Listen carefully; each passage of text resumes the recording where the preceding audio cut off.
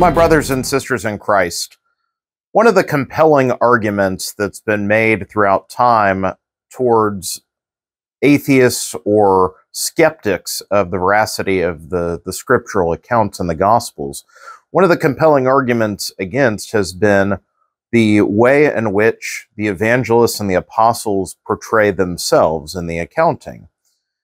Said differently, if you were to write a story of your own life or your encounter, you would probably be inclined, if not to to lie, at least from your own your own bias, you would probably soften your own edges, so to speak.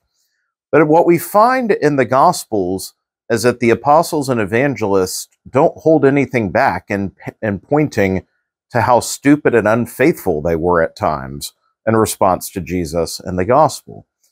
In fact, they find that the their own story of coming to, to understand is itself a powerful witness.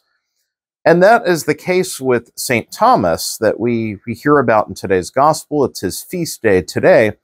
And the feast of St. Thomas, of course, you know what gospel is going to be read on his day the Doubting Thomas story. And so this is a gospel we always hear uh, early on in Easter season that has a, a lot of important context in the, the resurrection. But for today's sake, for a daily Mass kind of homily reflection, Instead, just want to point to Thomas, uh, and again, if if Thomas were telling his own story and making it up, I doubt he would paint it in such a way to make himself forever labeled doubting Thomas. But that is the story that is passed on. Of course, he goes on to great faithfulness as an apostle after the resurrection. But what's interesting in this account is we, we know the, the twofold nature of this appearance in the upper room. In the first appearance, Jesus sees them all, and Thomas is not there. And this shouldn't be overlooked. Why is Thomas not there? Why is Thomas not with his brothers? Has he fled? Is he not gathered with them in prayer? We don't know. It's left for us to guess.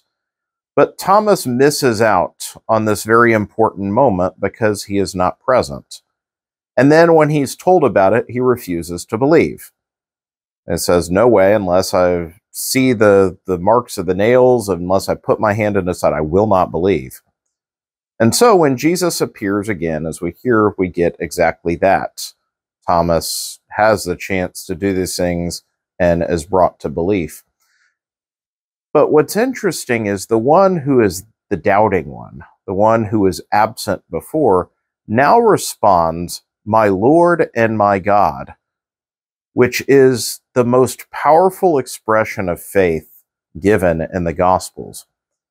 Because this, we, we see different way the apostles, even that, that Peter refers to Jesus at times, but to put together my Lord and my God, this was an expression. These two words using together only went with God the Father in the Old Testament. So even as the disciples are coming to this belief, they certainly call him Lord and beginning to see as God, but now my Lord and my God. So now Thomas has run the gamut from being the absent one, the doubting one, to now the most powerful profession of faith recorded thus far. This, my brothers and sisters, is a reminder to us of the power of reconciliation and grace. And of course, that's a major theme of this passage in the gospel as Jesus gives the gift of the Holy Spirit is to give this ministry of reconciliation. But for us, regardless of where I am today or where I've been in the past, regardless of how I've sinned, how I've been a lousy disciple, how I've strayed, how I've betrayed the Lord, whatever it may be, His grace is sufficient for me. Today, I have the chance as the Lord comes to me to not respond in doubt, to not respond in my absence, not in betrayal, but instead to look at the Lord and proclaim in the fullness of faith, My Lord and my God. St. Thomas is not remembered by the church as doubting Thomas, but as St. Thomas the Apostle. St. Thomas, pray for us.